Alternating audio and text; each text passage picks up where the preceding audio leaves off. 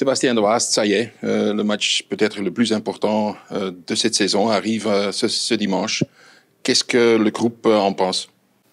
Je pense pas que c'est le match le plus important. Il reste encore trois matchs, donc je pense que les trois derniers matchs sont, très importants parce qu'il peut avoir plusieurs scénarios. donc voilà, mais le, le groupe ne, ne, se met pas de pression comme on le fait depuis le début des playoffs. On ne, on ne calcule pas en se disant oui, on doit gagner ce match-là, match nul ce match-là. On fait pas ça, on prend les matchs euh, les uns après les autres et on verra bien euh, ce, qui, ce qui se passera. Mais c'est sûr que dimanche ça, dimanche, ça va être un, un gros match contre, allez, contre Bruges, je pense. Nous sommes les, les, deux plus belles équipes du championnat, donc ça promet d'être une, une, belle rencontre. C'est un match qui veut dire beaucoup aux, aux supporters. Hein.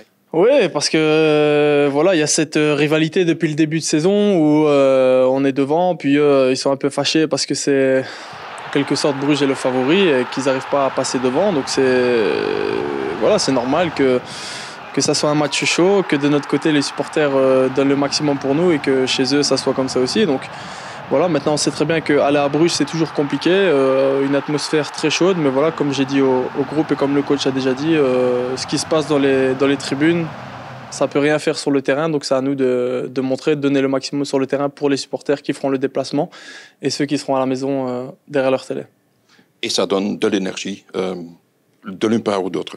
Oui, bien sûr. Euh, comme les matchs ici à domicile, euh, quand on arrive avec le bus, tous les supporters qui nous attendent, euh, ça nous donne des, des, frissons. Ça, voilà, ça nous donne cette énergie en plus et ça nous dit, ouais, voilà, les supporters sont prêts. Maintenant, c'est à nous de, de donner le max et de, de leur montrer qu'ils ont bien fait de faire ça. Et c'est vraiment une très belle expérience. Mais en tout cas, oui, on est vraiment fiers d'avoir ces supporters-là. Tu sais qu'il y a un grand écran ici dans, dans la ville de, de Genk?